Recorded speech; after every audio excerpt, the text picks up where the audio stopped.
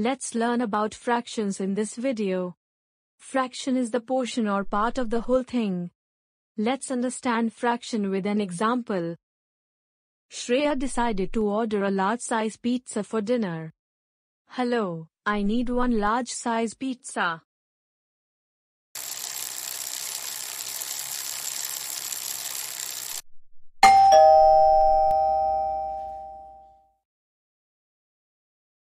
Your pizza ma'am.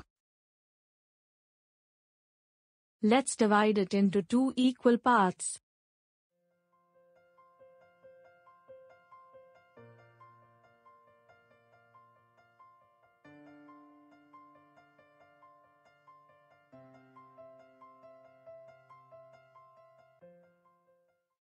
What is the fraction of pizza each one of them got?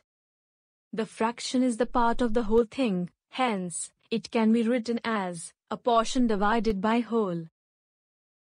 In this case, you can also write the fraction is equal to the number of pizza slices each one got divided by the total number of pizza slices.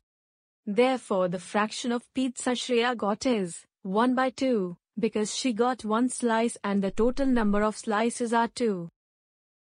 Samir also got the same fraction of pizza. Let's consider the scenario where one pizza is divided into four equal parts.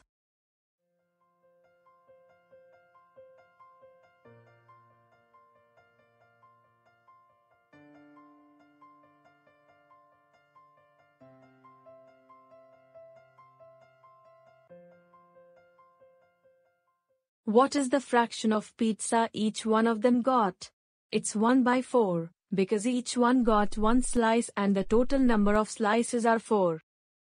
Remember, to find out the fraction, the parts should be of equal size. A fraction has two parts. The top part is called the numerator, and the bottom part is called the denominator. The fraction of the colored part of the image shown is the number of colored parts divided by the total number of parts, which is 1 by 2. Similarly, the fraction of the colored part of the image shown is 1 by 3.